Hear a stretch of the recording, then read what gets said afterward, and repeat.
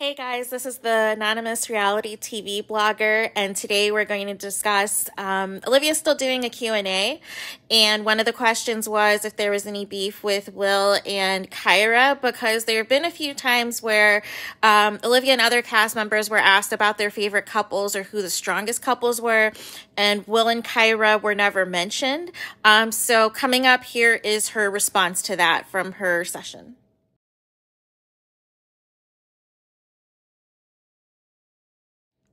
All right, let me know what you guys think about that. Um, you guys can like, comment, and subscribe. And again, um, we are here to provide you the best up to date content in five minutes or less.